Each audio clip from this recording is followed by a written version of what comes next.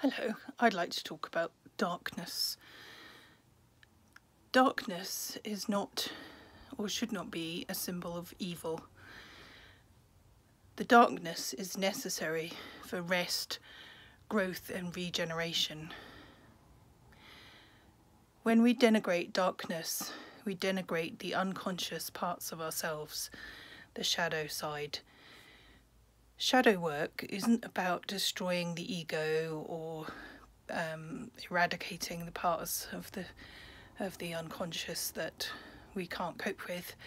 It's about bringing them up into consciousness and integrating them into your everyday self, into your conscious self.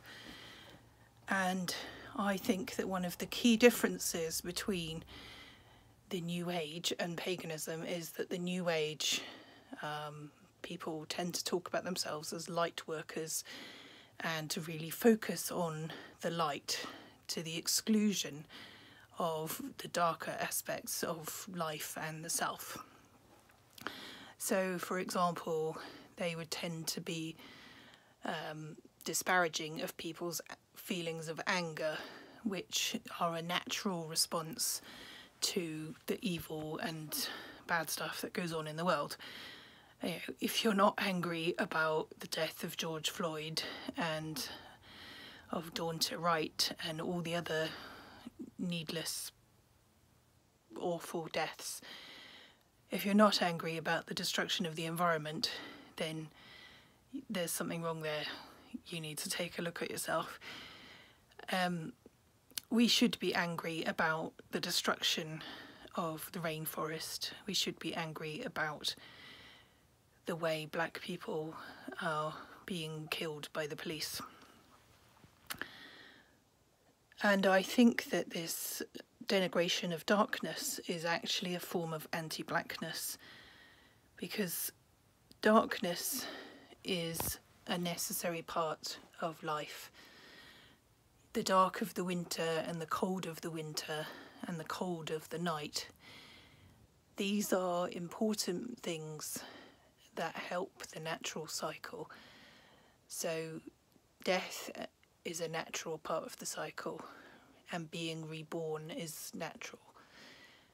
You can't have that growth and regeneration without parts of the system decaying and dying. So, death and decay are a natural precursor to rebirth and growth. If everything lived forever, then um, the world would be very, very full. So, um, and everything would be static and nothing would change. So, whilst change can be painful, it's also necessary for growth. And think about the beauty of the springtime. You can't have the beauty of the springtime without the darkness and cold of the winter because you need that darkness and cold of the winter for the seeds to regenerate. And in some spiritual traditions, the darkness is um, revered as a time of dream and extra mystical connection with everything um, because it's the time when the stars come out and the moon shines forth.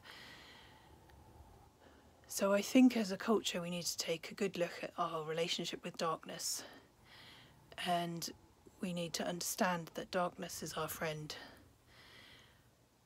there's a great quote, great quote from Oscar Wilde where he talks about returning to the forest and the night because um, civilization has hurt him by imprisoning him for being queer. And um, he talks about nature healing his hurts. And I think that we need to take refuge in nature and we need to realize that we are part of nature and recognizing that darkness is a thing of beauty and a necessary part of the cycle is part of that recognition. And this, I believe, is why paganism um, and witchcraft have a lot to offer the world because we have always venerated the darkness and the moon and the twilight side of of our own natures. And I think if we use darkness as a metaphor for evil, or we talk about how we're focusing on the light, then that's actually a dangerous form of symbolism. Because one of the things that uh, people do when they won't talk about anger and they won't talk about politics in their spirituality and they won't address the those you know so-called negative emotions is it's spiritual bypassing. You know we've all seen those people who are like oh i'm too enlightened to um, to bother with politics and uh, you know uh, i can't cope when people get angry well you know people get angry for very very good and valid reasons. And we need to sit with that and look at what we can do to help not call not tone police them for the way they're expressing their anger. Um, so yeah uh, i think that darkness is a big piece of this puzzle and it's something that we need to honor. And it's also a symbol of the divine feminine um, because the goddess is a symbol of the night and the moon. And those things are intrinsically linked with the divine feminine.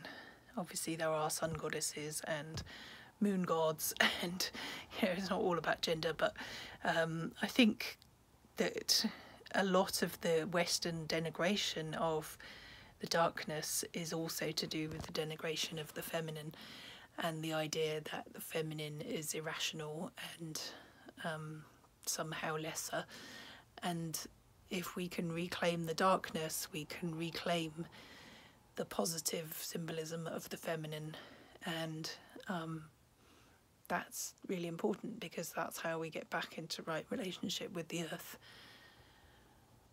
So, um, let's hear it for the darkness.